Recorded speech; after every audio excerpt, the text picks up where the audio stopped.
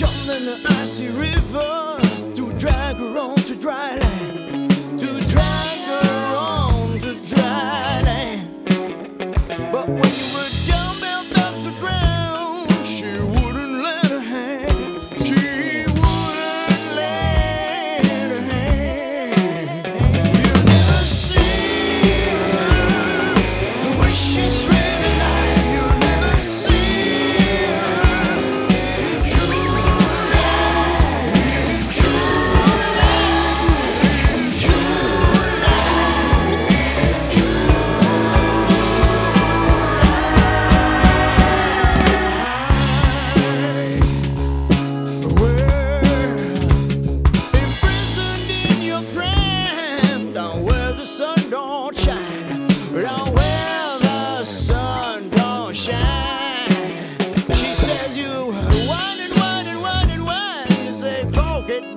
and